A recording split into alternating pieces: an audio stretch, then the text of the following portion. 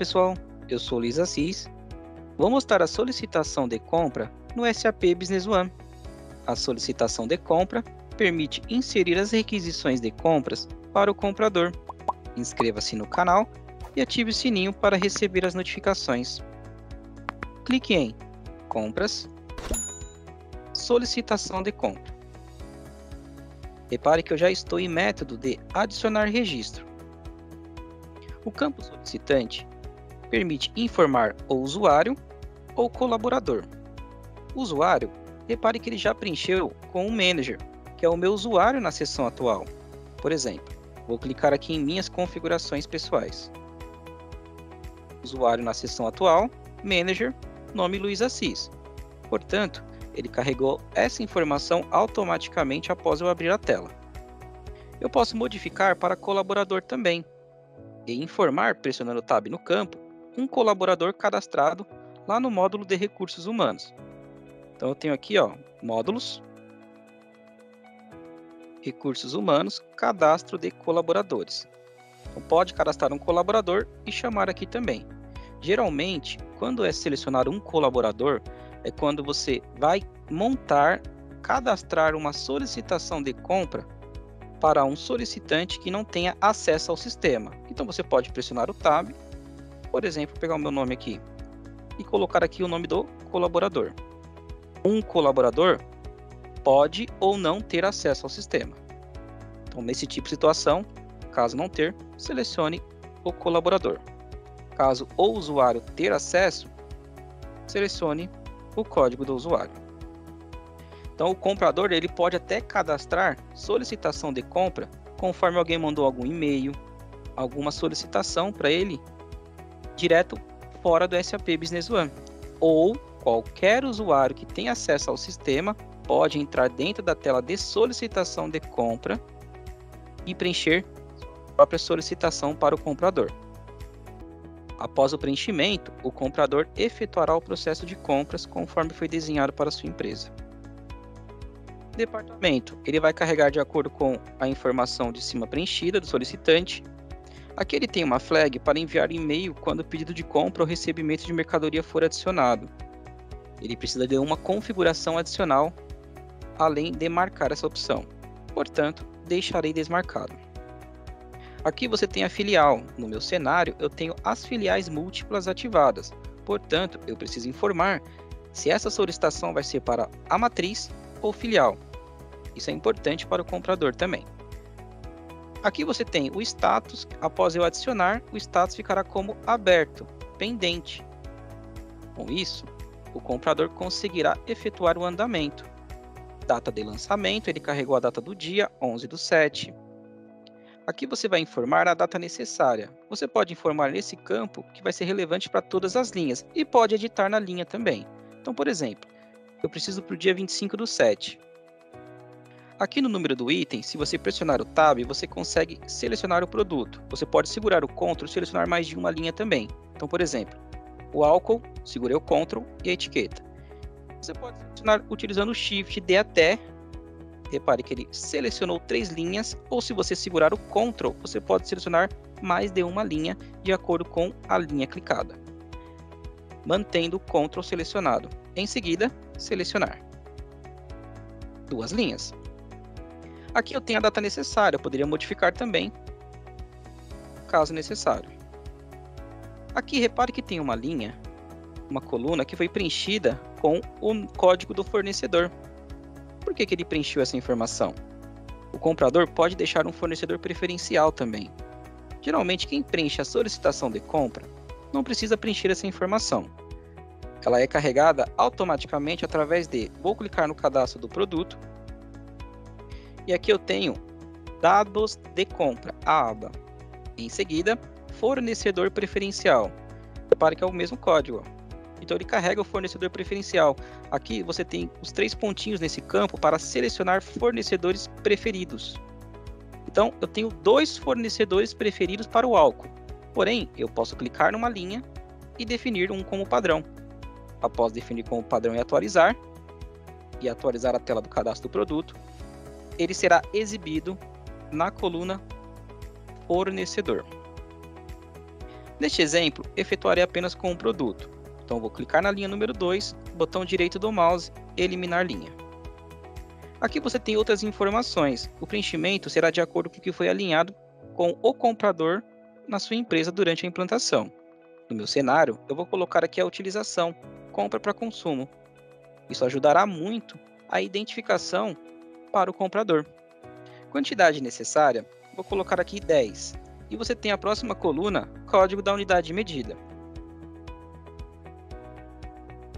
Você pressionar o Tab, o sistema vai mostrar as unidades cadastradas. Então ele poderia comprar caixa com 10, caixa com 20, unidade. Então você vai selecionar a unidade de medida de acordo com a sua preferência e o que tem cadastrado no sistema. O meu já carregou aqui um código de imposto, não é obrigatório, pois já tem configurado para carregar um código de imposto de acordo com a tributação do produto. Isso será revisado pelo comprador durante a fase de compras, como por exemplo, oferta de compras é a cotação. Depois tem o pedido de compra. Após eu fechar o acordo com o fornecedor, eu vou inserir o pedido de compra. Então, a solicitação de compra é apenas o primeiro fluxo. Vamos aqui entender um pouco como que funciona. Ó. Solicitação de compras é a requisição. Oferta. Eu posso fazer uma cotação de compra de acordo com a solicitação. Próximo. Se a oferta de compra foi finalizado com sucesso e eu fechei acordo com o meu fornecedor, eu vou transformar essa oferta de compra num pedido de compra. Então é assim que funciona o fluxo. Primeiro é a solicitação de compra. Então não precisa você sair solicitando para comprar qualquer coisa. Ah, manda e-mail. Passa aqui na minha mesa e deixa um post-it, um papel. Não precisa. Informe para o usuário. Entre no SAP Business One e preencha a solicitação de compra. Caso o usuário não ter acesso, você poderia até receber um e-mail. Ele tem aqui, ó, anexos. Por exemplo, vou abrir aqui um bloco de notas. Exemplo, solicitação de compra. Então, comprar álcool. Então, um exemplo, teste, treinamento. Então você recebeu um e-mail ou qualquer informação e quer deixar isso registrado. Então volto lá e você tem aqui a aba anexos. Então eu posso modificar aqui o solicitante e deixar registrado aqui em procurar, na aba anexos, procurar novamente, aba desktop, e ele tem aqui, ó, exemplo solicitação de compra, open. Então vou deixar aqui o anexo registrado. Então isso é importante para uma rastreabilidade futura. Após isso, eu posso até adicionar novas colunas aqui também. Então, se você clicar aqui em configurações do formulário ou Ctrl Shift S, o sistema vai abrir a tela configurações do formulário. Formato da tabela. E aqui você pode marcar como visível para deixar visível a coluna ou desmarcar para ocultar a coluna. Então, por exemplo, essas duas colunas aqui, ó, conteúdo do campo, identificação do campo, eu não quero utilizar. Então, vou desmarcar e clique em OK. Pronto, ficaram poucas colunas. Se você deixar marcado como visível, clicar em OK, ele vai exibir a coluna aqui. Tudo preenchido, tudo certinho? Adicionar. Então aqui, ó, observações. Comprar para o RH, exemplo, treinamento. Aqui você tem três opções. Eu estou utilizando a versão 10 do SAP Business One. Ele permite você adicionar e deixar a tela limpa para adicionar um novo registro. Adicionar e visualizar o que você digitou, o que você adicionou. E adicionar e fechar a tela. Então vou adicionar e visualizar. Pronto. Operação completada com sucesso. Se eu clicar aqui com o botão direito, ó, eu tenho um mapa de relações, que ele vai mostrar o relacionamento entre essa solicitação e outros documentos. Repare que ele mostra até aqui ó, que tem um anexo cadeado aberto, então está pendente, número 32. Ele trouxe um valor aqui de acordo com o preço relacionado ao produto, mas não é obrigatório.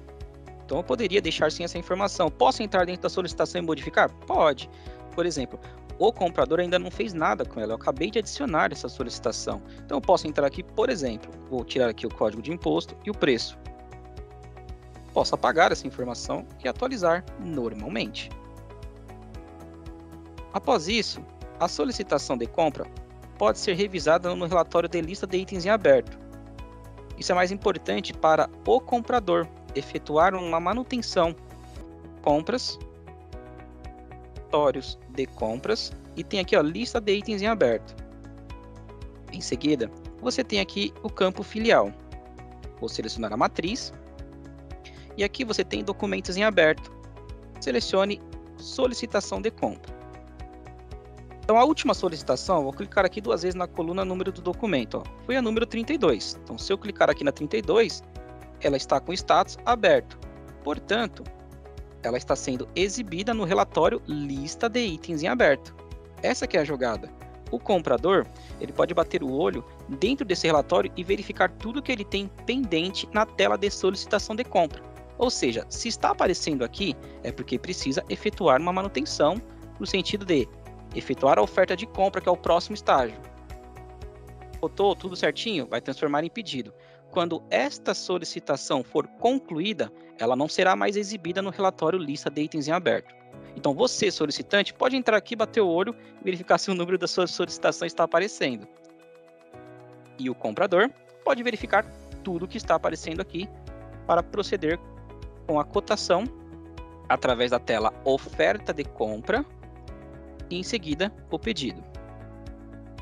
Você pode clicar com o botão direito, copiar tabela e colar o conteúdo no Excel. E aqui você tem também as configurações do formulário.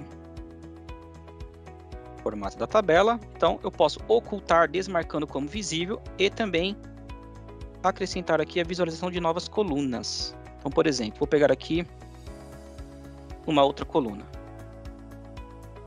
Séries de documento, tipo de solicitante, ok. Para ocultar, volto lá dentro desmarco. Série de documento, tipo solicitante, ok. Repare que eu tenho aqui solicitação do dia 30 do 4. Então eu posso efetuar uma análise, entre em contato com o solicitante e falei, ó, identifiquei aqui que tem uma solicitação pendente. Ainda será necessário? Não, ainda preciso. Mesmo que está atrasado, então vou entrar aqui dentro, vou colocar a data necessária que foi alinhada com o usuário. Então, após contato, nova data, dia 25 do 7. Em seguida, atualizar. Eu efetuei uma manutenção. Se eu retornar aqui dentro e atualizar o lista de itens em aberto, repare que a data necessária modificou. Então aqui, ó, 25 do 7, eu tenho várias, ó. Então é importante, você pode efetuar a manutenção. Lembrando que se estiver aparecendo dentro desse relatório, significa que o comprador ainda não concluiu o processo de compras. O não concluiu pode ser o quê? Que está pendente, ainda está em dia, ou está atrasado, ou ainda está fazendo uma oferta de compra, que é a, a parte da cotação. Então, isso vai depender muito do fluxo desenhado. Aqui é importante que o comprador consiga ter uma análise de tudo que está pendente a nível de solicitação, requisição de compra. Se por um acaso foi necessário cancelar alguma, você pode selecionar aqui várias linhas e ele tem aqui o modificar para cancelado ou você pode fechar também, cancelar também pontualmente. Ele tem até aqui a opção fechado, mas para essa tela, geralmente o fechado é utilizado quando você tem alguma coisa parcial efetuada. Então, neste cenário, como eu não tenho nada feito, eu posso clicar apenas no cancelado. Então, por exemplo, se eu for aqui, ó, esse é o número 32. Então, acabei de falar com o Luiz Assis, ele falou, ó, pode cancelar lá, não vai precisar mais. Então, eu poderia entrar dentro da número 32 aqui, igual estou, botão direito do mouse e cancelar.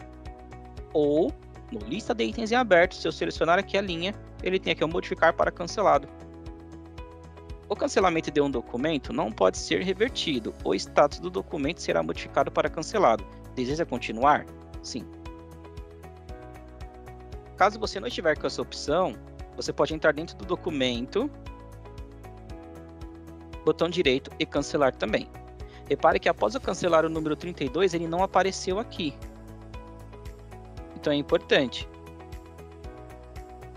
Sempre vai aparecer no lista de itens em aberto quando estiver pendente. A solicitação está aberta. Ah, mas eu já cotei. Não tem problema, ela ainda está aberta. Quando você concluir o processo gerando pedido ou finalizando a parte da cotação, tudo tal, gerando pedido certinho, aí sim. Então, por exemplo, eu tenho esse 31 aqui, ó. Copiar para oferta de compra. Então, a oferta de compra é a cotação. Então, vou colocar aqui o mesmo fornecedor, ó, o 2, que estava lá. Então, quantidade cotada, 100 a 10 reais. Um exemplo, tá, pessoal? Então, em seguida, vou adicionar. Adicionei. Só que aqui eu tenho a solicitação número 31. Vou fechar todas as telas, ó. Fecho, número 31. Volto lá. Compras, relatório de compras, lista de itens em aberto. A 31 ainda continua aparecendo aqui. Por quê? Eu fiz a oferta. Então vou chamar o mapa de relações, ele mostra aqui, ó, você teve uma solicitação que virou uma oferta, só que ela ainda está em aberto. Então agora, se essa oferta aqui deu certo, essa cotação deu tudo certinho. Então duplo clique aqui no quadradinho, ele vai abrir a tela. Vou copiar para pedido de compra. Fechar as outras ofertas? Sim. Agora vou concluir o pedido. Então, pedido tá tudo certinho, ó. Pro dia 11 e tal, data de entrega, vou colocar aqui dia 25 do 7. Então, tá tudo certinho aqui, vou adicionar. Após eu adicionar o pedido, repare que eu vou chamar o mapa de relações. Botão direito, mapa de relações.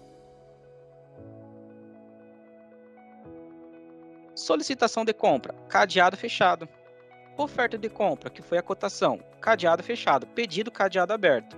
Então, se eu retornar lá no relatório lista de itens em aberto, a número 31 vai continuar aparecendo? Eu estava com a tela aberta. Ó. Vou atualizar o registro. Sumiu a 31. Conclusão, ela somente sairá da lista de itens em aberto caso você efetue o cancelamento ou feche o documento ou gere o pedido. Repare que eu fiz a oferta de compra e depois gerei o pedido. Então, quando você estiver em fase de cotação, ele ainda vai manter aberto. Então, o próprio solicitante poderia bater o olho aqui dentro, chamar o mapa de relações e verificar o andamento. Pode, não tem problema, mas o comprador conseguirá efetuar uma manutenção através do lista de itens em aberto. Dessa forma, você conseguirá registrar e controlar as requisições de compras na tela de solicitação de compra no SAP Business One. Espero ter ajudado. Um forte abraço.